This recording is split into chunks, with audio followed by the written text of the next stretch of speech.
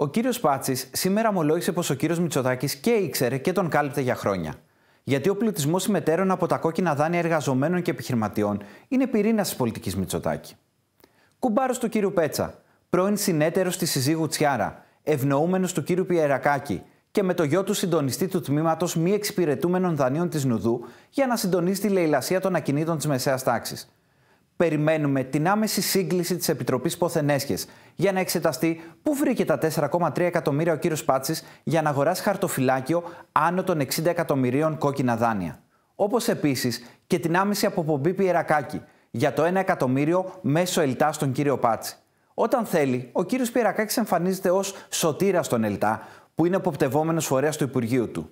Τώρα που αποκαλύφθηκε το πλιάτσικο, δεν ξέρει τίποτα και τα ρίχνει όλα στον κύριο Σταϊκούρα. Ας αποφασίσει ο κύριος Μητσοτάκης ποιον θα αποπέμψει.